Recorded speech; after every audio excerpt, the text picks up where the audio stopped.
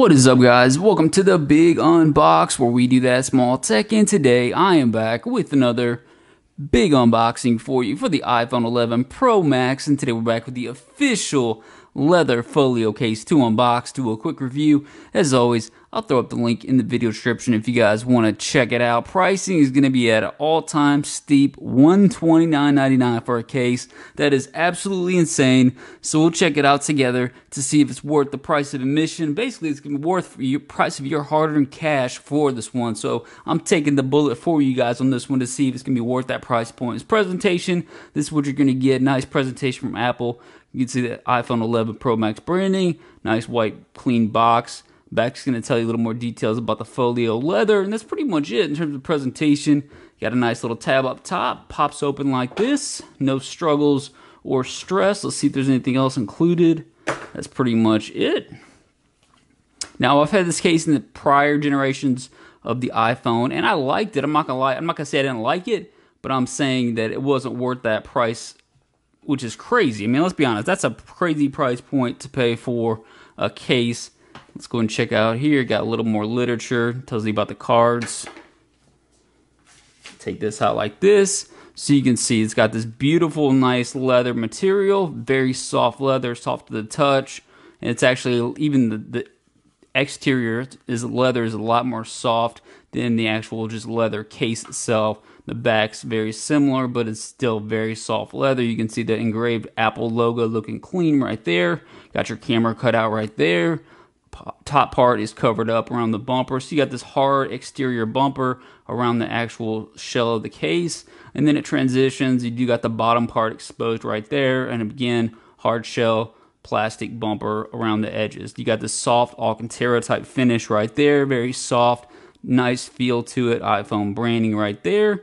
Get that in focus, black. It's very soft to the touch. I feel like it's going to give you some nice protection. And then again, that leather material is grade A definitely quality material. And then you can see the outer shell of the actual case itself. Looks beautiful. It's a nice design.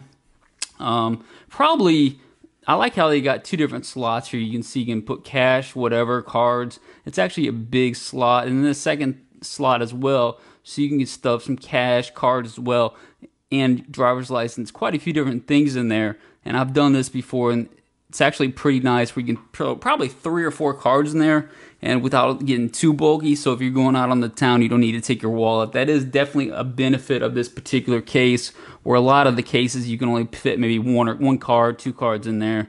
So let's go and pop it into place. Snaps right like that, nothing to it. Fold it up like this.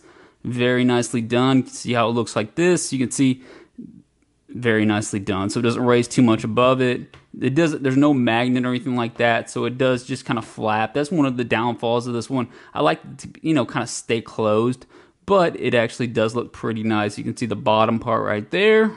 Give you guys some different angles of this one. So it looks beautiful. It actually looks very, very nice. It's going to add some bulk, but again, this is going to be for one of those you know times where you really just don't need a wallet. You just want to carry this around, or this may be a more business style decision for you guys rather than carrying a wallet around or the ladies carrying a purse around. So you can see it, how much protection you're going to get. You're getting full protection except for that bottom part is exposed.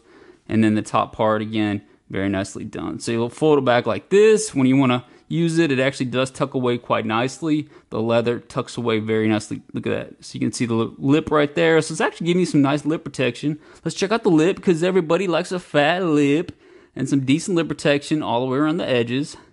And you can see the material right there. It actually feels like it's giving you some leather material right there. I thought it was actually going to be plastic, but it feels like the sides are actually leather as well. So very nicely done. Volume up and down, clicky and responsive. Again, bottom part is exposed. You can see the right here. That's the protection that you're going to get. So you are getting some nice protection right there. Let's check and see if we can throw some cards in there. See how it looks. One, We'll put one right there, put another one back there. So that's three cards. And look at that, still stays shut. That's actually really nice. Look at that. So you got three cards. You can see it's it is protruding out just a little bit, but it stays shut and it doesn't add too much bulk. So that's pretty nice. You got one, you got your driver's license, and then two more cards. I would say you could probably throw another one card in there, maybe two, and get away with it. So that's pretty nice, guys. That's actually a really nice design. I got no problem with the design. I think they do a really nice job with that. My only problem is with the price point. So that's the is it a hit or miss? That's a really really tough question because I really I like this case a lot, but I can't recommend it to most people for that price point. Obviously, if you're going in there and you need a, you need a wallet style case and you don't mind, you know, putting 130 bucks up for it, I would say go ahead and do it because it's a really nicely built case. But for most people, I just can't recommend spending that type of cash on a case. Let me know what you guys think about this in the comment section. So with that said, I'm gonna say it's a mini hit because it is definitely it's for and it's not for everybody. There is a specific group of people that this is for, and if you're that specific group of people, this is gonna be a hit for you, but not for most people. Let me know what you guys think about this in the comment section. Is it a hit? Is it a miss? Hit the subscribe button. I'll see you guys next time.